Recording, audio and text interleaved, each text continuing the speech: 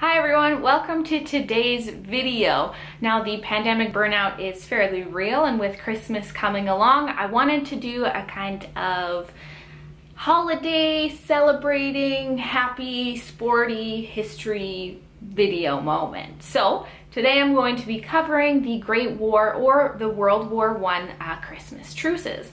Now I know it doesn't sound very sporty, but I will get into why it's sporty in a bit. But during this one day truce on the front line trenches of the Great War, soldiers from both sides got together for a few moments and celebrated Christmas. Now this moment is a defining moment kind of in the history of the war, history itself, and history of war in general as it's one of the only times something like this has ever happened. So let's get started.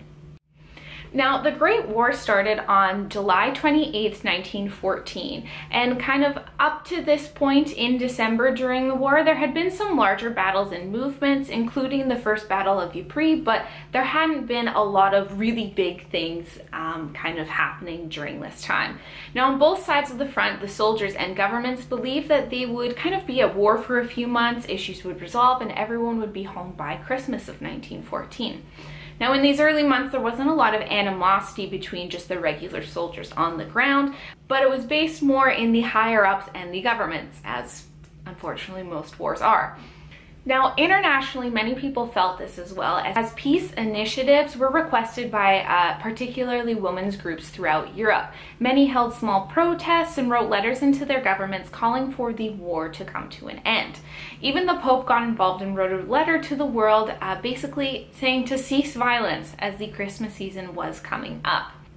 Now back in the trenches, this early type of trench warfare was different than trench warfare you would see later on in the Great War or even World War II.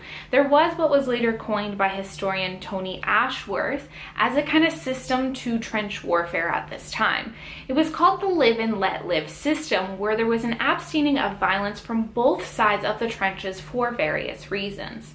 Now Ashworth discovered this um, through research of written testimonies or journals from soldiers at the war, uh, from different newspapers who wrote reports, and personal testimonies of both British and German troops on either side of the war. Now, there was a multitude of reasons for these packs, and they usually lasted for kind of various time periods. So it wasn't a consistent thing across the trenches, but more kind of individual and localized.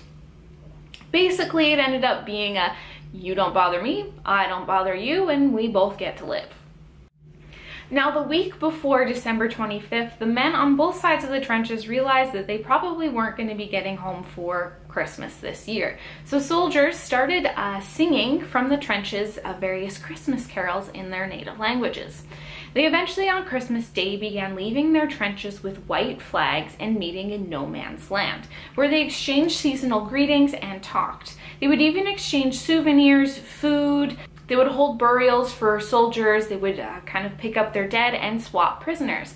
And more particularly, what I'm going to be talking about today is they played games of football.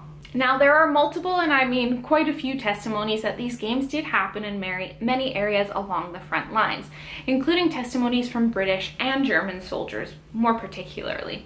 Now, football had been played professionally in Germany since the 1890s and was also played in the UK professionally even earlier than that. So it was a common and well-known game amongst everyone on both sides of the trenches. And because it was a relatively simple game with minimal equipment and it was international, the game was played and understood by both sides, even with different language barriers.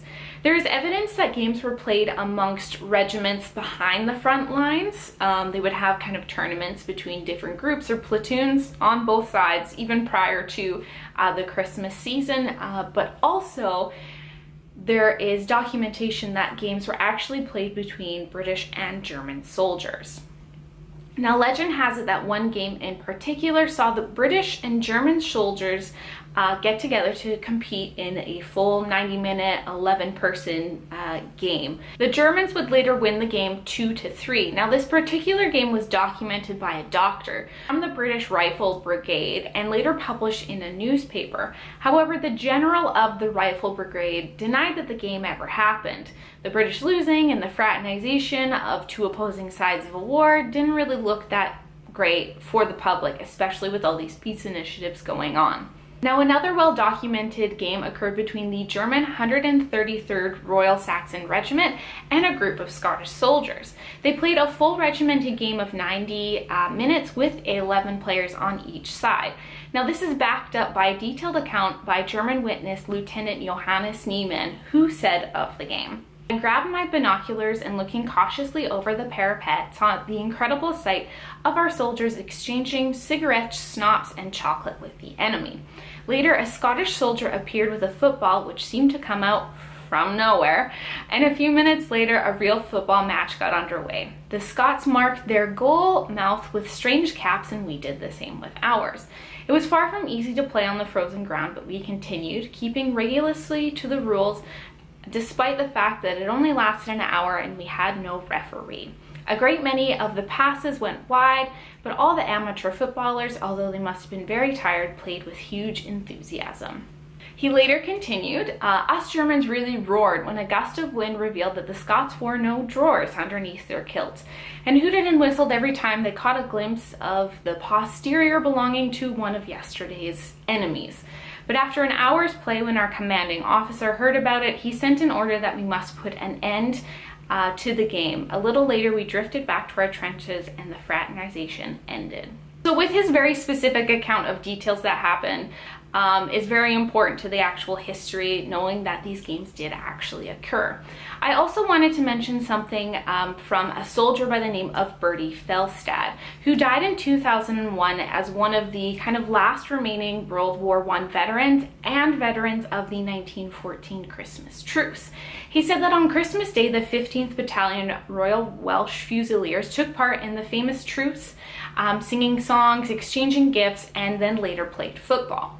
In an interview I found on them, he also said this, which I think really neatly kind of sums up um, how the soldiers felt about one another and how the truce actually occurred. Now, my battalion never allowed itself to have any political feelings about the Germans. A professional soldier's duty was simply to fight whomever the king ordered him to fight.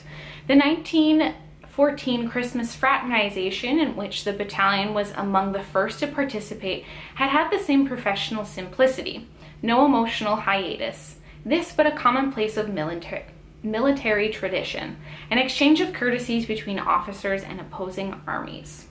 Now, in my research for this video, I did find some historians arguing that these football games actually never happened or didn't happen to the extent that people believe. But I found multiple eyewitness accounts and testimonies from soldiers on both sides of the war who said that they did.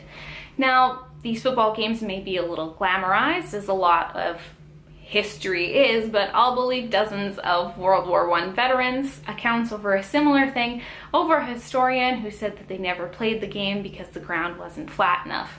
If they wanted to play football, they were going to play football.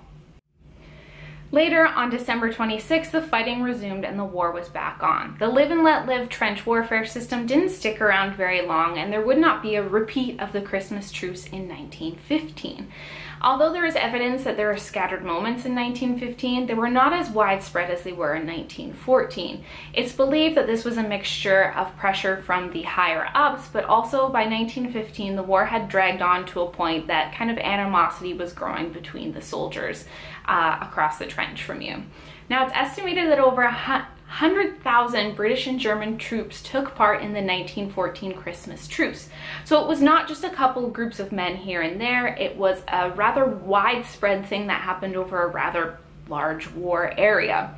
Now this would be the first and only time something like this has ever happened in recorded war history. It's not very often that you get opposing sides of a war coming together to celebrate a mutual holiday and then resume going back to fighting the next day.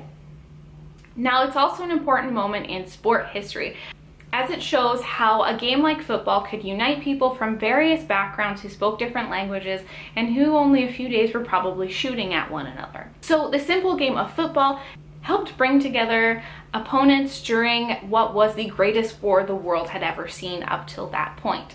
And for a few moments, thousands of men were kicking a ball around on the mortar-hold ground of no man's land, celebrating Christmas. So thank you for watching this video. I hope you enjoyed a little bit of information on the 1914 Christmas Truce football games.